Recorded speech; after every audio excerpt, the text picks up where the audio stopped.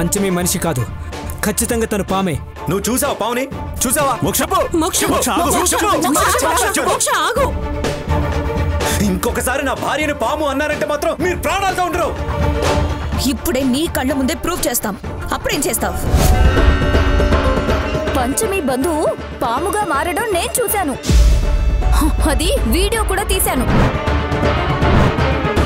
ఆ వీడియోలో మోక్ష కూడా ఉన్నాడు. మోక్ష వీళ్ళు చెప్పేది? నువ్వు పంచమి బంధువు అని చెప్పిన అతను మాట్లాడుకోవడం నేను వీడియో తీశాను. నీ కళ్ళ ముందే తను పాముగా మారి వెళ్ళిపోయాడు.